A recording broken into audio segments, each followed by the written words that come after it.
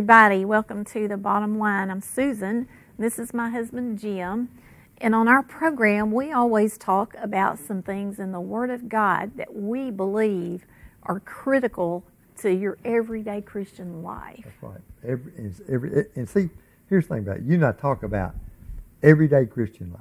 And Every people think, well, you know, everybody has an everyday Christian life. Mm-hmm. Isn't that true? That's right. I mean, we all get up, eat our breakfast, take a shower, get dressed. I mean, it, it's just an everyday Christian life. Now, that's not saying, uh, we're not saying it is an everyday boring life. Definitely not that. It is an everyday Christian life, Uh-huh. which means every day is exciting because we are following after the Lord. Yeah, and a lot of times we'll we'll ask, you know, what do you mean by the bottom line? Why do you call your program that? Because we believe that that's how you solve life's problems and pressures. The bottom line would be by using the, The Word, Word of God. God. And so that's that's the the whole synopsis of our program, what we do here. That's right. So, you know, here's the thing about it. Y- You got this problem, this problem, this problem, this problem. I'm not talking, talking about, you know, everybody has this problem or, or this problem Yeah. or maybe this problem or maybe this problem. Well, well and, and, and the, the, what happens is, is that we get overwhelmed. That's exactly what happens. Yeah. But what you have to do is you have to go to this book right here. Mm-hmm. And you find a scripture or two that addresses the problem that you're having. That's right. That's what you do. And you begin to meditate on it. You begin to confess it. You begin to say it. You begin to go over it. You, you rehearse it. You go over it. You rehearse it. And pretty soon, it just seems like, well, Yeah.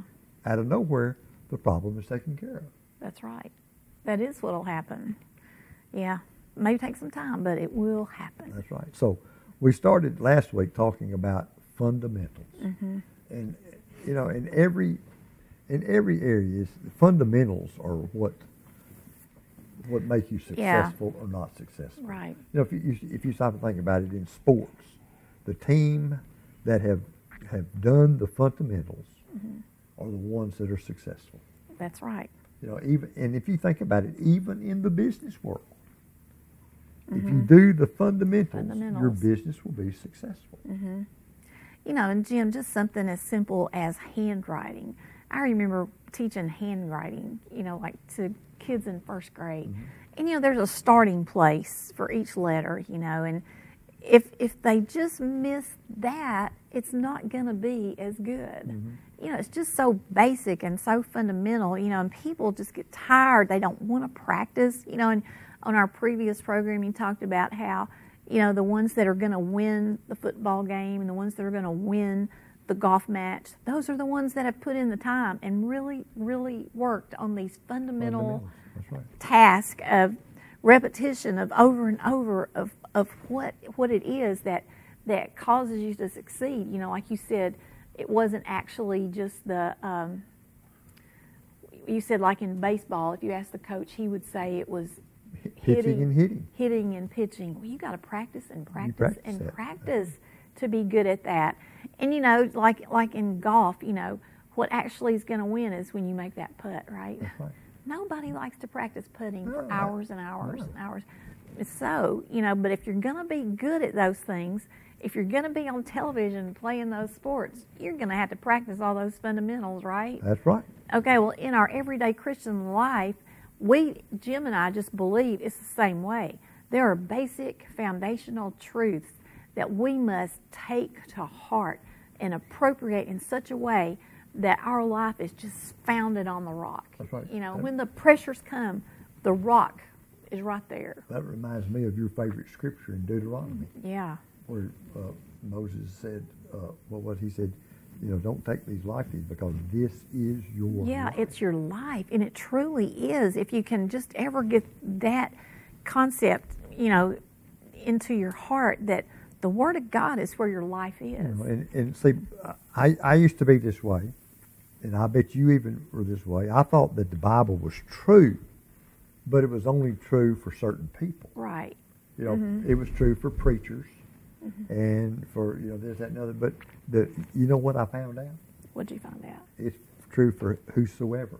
Mm-hmm. You know, in Mark chapter eleven, Jesus, you know, Jesus said, "Curse the fig tree," mm-hmm.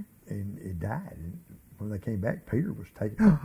Look, Master, the tree is dead. And here's what Jesus said. He said, He said, Have faith, faith in, God. God. Whosoever shall say unto this mountain, Be thou removed and cast into the sea, and shall not doubt, but shall believe those things which he says shall come to pass, he shall have whatsoever he saith.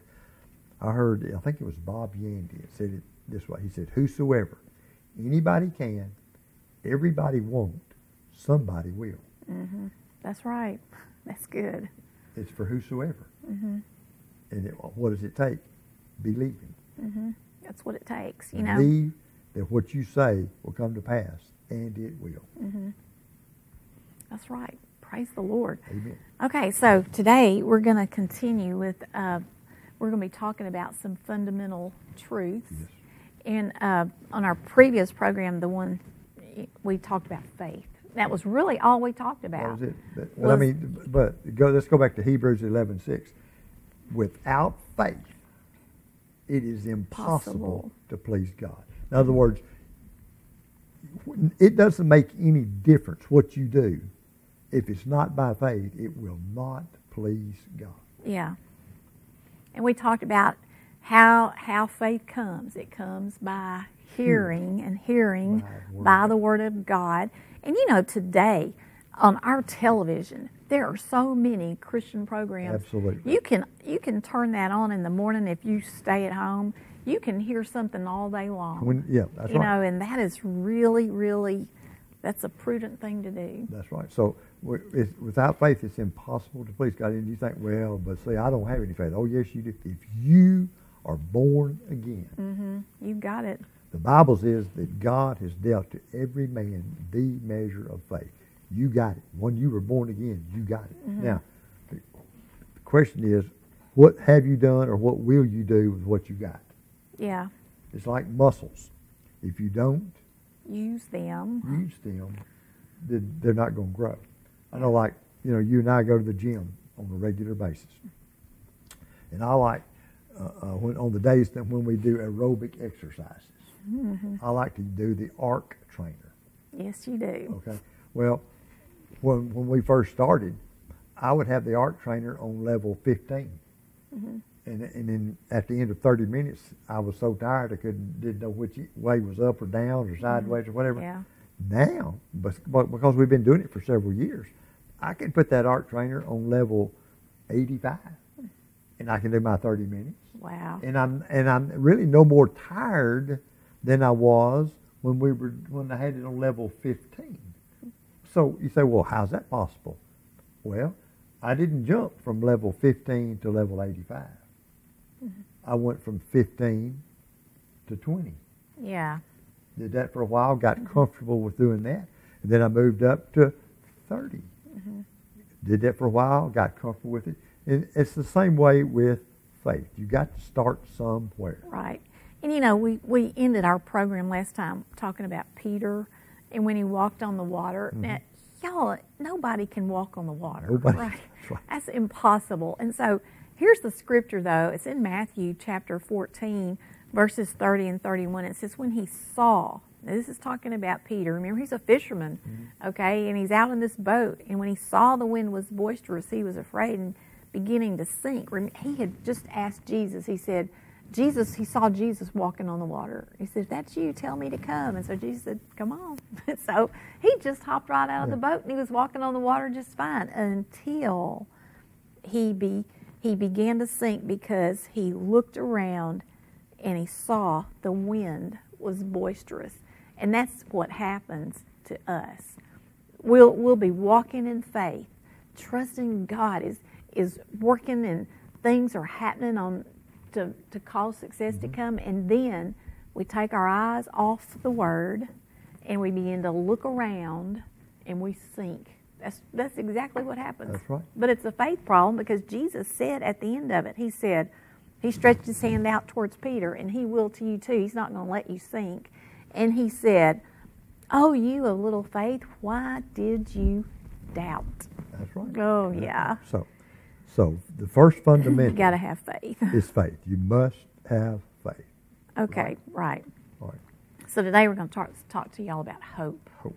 Hope. Okay, and I'm going to I'm going to start with this scripture because I just really think this is good. This is in Hebrews and it's chapter 6 and it's verse 19. And this is the New Living Translation. It says, This hope is a strong, trustworthy anchor for our soul.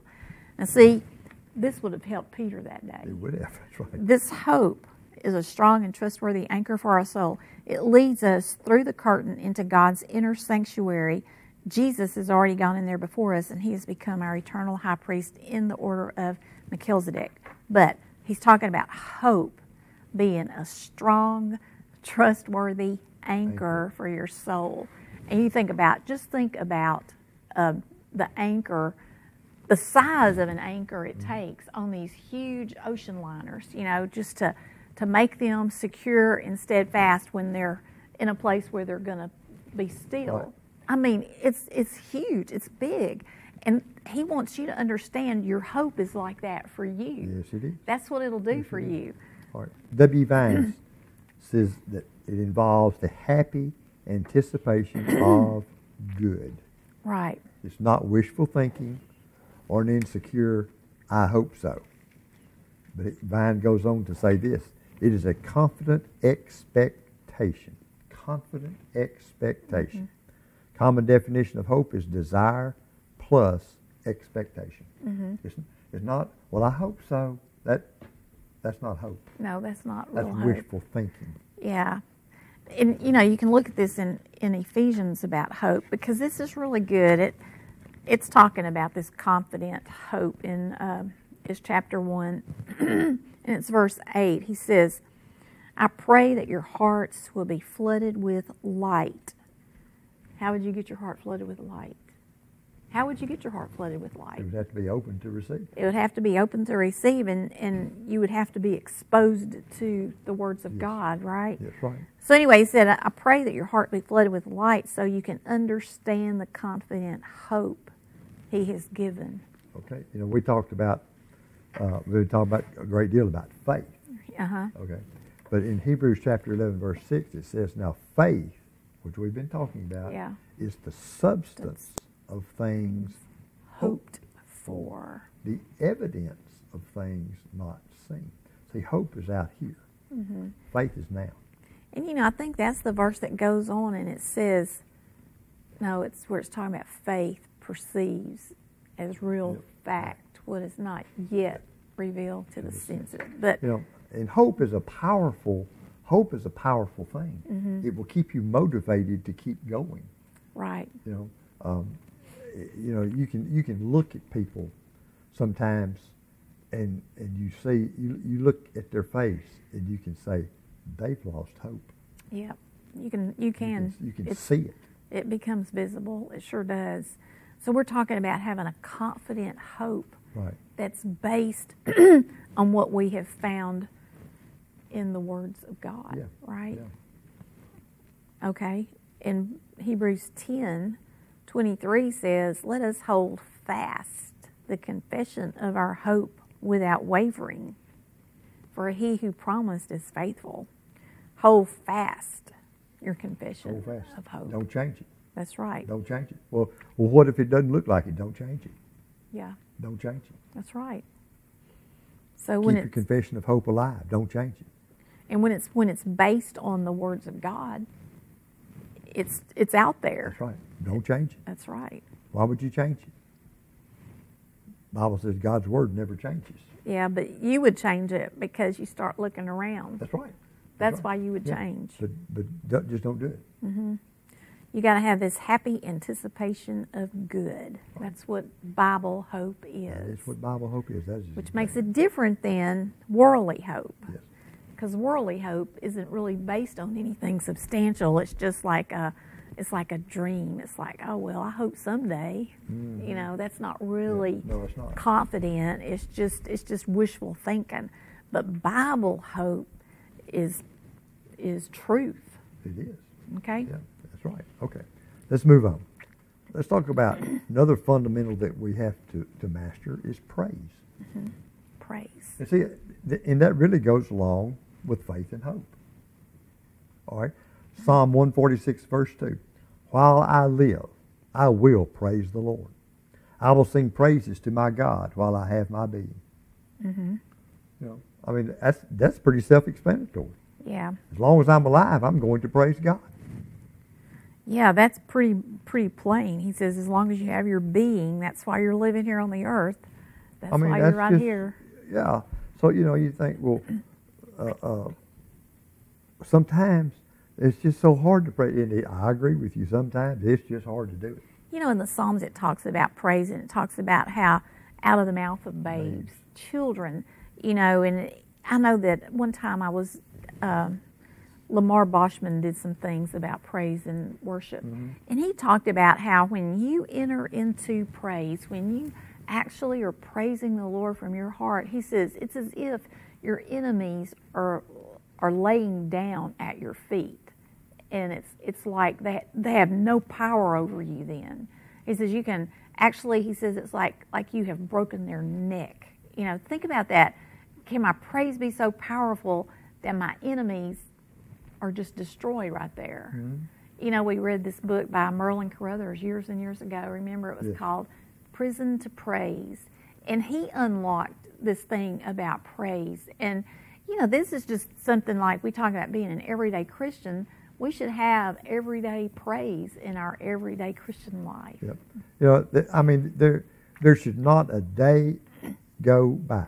You know, I, I like to think about it like this. There's certain things that I do every day. Mm-hmm. Every day. You know, like for instance, every day I pray in tongues. I've done that every day Mm-hmm. Every since day. I got filled with the Holy Spirit, which was Yeah. 40 years ago. Yeah. So there has not been a day go by that I haven't done that. Mm-hmm. That's just I just do that. Every day I tell you that I love you. There is not a day goes by that I don't do that. Right? that's right And I believe that every day I give you a head kiss. i think you do Every day. It's just certain You- things. yeah. Just certain things that you do. Well, it ought to be the same way. Every day we ought to praise God. There's mm-hmm. something in your life that, that you, can, praise, God, for. about that's I true mean, you know, you things may may not be going like you want them to go. Things may not be going like you thought they would go. But I promise you, there's something there that we can praise God for. In in Luke it talks about uh, Jesus. It was like a parade that day. It was in chapter 19, verse 37. As he was now drawing near the descent of the Mount of Olives, the whole multitude of the disciples began to rejoice and praise God with a loud voice for all the mighty works they had seen, saying, Blessed is the King who comes in the name of the Lord, peace in heaven and glory in the highest. If you read this from some of the newer translations, it will tell you that the whole city was rocked. You know, like Jesus was the first rock star. You know, the whole city, the enti- all the kids, all the old people, all the young people, the teenagers, everyone was affected by his entry that day. But it, it resulted from this praise that began when they when he came into their mm-hmm. presence. That's right. That's right. So so praise, Praise. is something we can do. Praise is powerful. It is powerful. You know, you can praise it, praise God in spite of circumstances. That's right. That's just something that we just need to do. That's right. That's right. Okay. Let's talk about another one. Okay. Talk about righteousness. Okay. Now, some people don't understand. it. Some people think righteousness means holiness, but that's not what it means. What does righteousness mean? Righteous just means equity of character or action as a result of justification. All right. All right, there's some scriptures here. Romans uh, 14, 17. For the kingdom of God is not eating and drinking, but righteousness and peace and joy in the Holy Spirit. Okay, so what's he saying here when he says it's not eating and drinking? uh, righteousness, the kingdom of God doesn't have to do with these natural things. Yeah, with material things. That's right. It's righteousness, peace, Peace and, and joy, joy. in the Holy Spirit. Right. All right, 2 Corinthians 5.21. For he made him, he, God, made him, Jesus, who knew no sin, to be sin for us, that we might become the righteousness of God in him. Him. Now, see, there's where a lot of people. Yeah, there's there's a here's- here's- mentality there- out there's there. A mentality there. You mm-hmm. see, people think, well, you know, I'm not worthy. According to what he, according to what I just read right there, you are worthy. yeah, not anything of yourself though. No. It was the, What, the what actual grace Yeah. of God. right. It, it makes us, I like to say this, it makes us one with God, makes us tight. Mm-hmm. But he, and, he, and it's just plain. He says that we might become the righteousness of God in Him. In Him. But being in Him, because I am in Christ, then I'm, according to, to, to, to Bible, I'm in right standing with God. So these people, did, and I used to think this, Mm-hmm. that, well, God won't do this for me because I did such and such and such and such. Folks, that's, that's just not true. Yeah. if you're born again, if, you, if you've asked God to forgive you, then that's all gone. You know, there, there was a, a singer years ago. His name was David Ingles. And he sang a lot of these verses. Mm-hmm. Yes, you know, did. like one of them was, I am the righteousness of God in Christ. Mhm. And then it said, a brand new creation in Him. Old things are passed away and everything is new. And then it goes on, I am the righteousness of God. But one, and part of that, he talks about being a partaker of His divine nature. Okay. Now, see, that, that, that's very helpful to me because when I begin to understand, okay, I'm a partaker of His divine nature, not because of anything I've done, it's because of what Jesus has done. Right. It's because Jesus was willing to come into this place, you know, and we just celebrated, you know, his entry into the earth at Christmas time when we talked about the mighty rescue that was planned, you know, and he sat there that day and you could just imagine how he just said, Hey, I'll go. I'll do this. I'll I'll go there. You know, and he did. And he took upon himself all the sin, sickness, and everything, Everything. bad That's right. and you know the bible talks about him in isaiah 53 or 55 where it describes him as he was on that cross you couldn't even tell he was a person anymore That's right. It said that his visage his face was so marred he, he didn't even look human and he did that for you he did that for me Right. And that's why we could say we're the righteousness of god in him mm-hmm. not we didn't do anything he did it all He did it all, and he just gave us the benefit of what he did. That's right. So we need to boldly understand, hey, I'm not I'm not a worm of the earth anymore. No, that's right. I'm righteous with Righteous. God. That's right. That's with right. God. okay, let's talk about this for just the, Okay. the time we have left. Confessing the word. Oh yeah. Confessing the word. Romans chapter 10, verses 9 and 10. That if you confess with your mouth the Lord Jesus and believe in your heart that God raised him from the dead, you will be saved.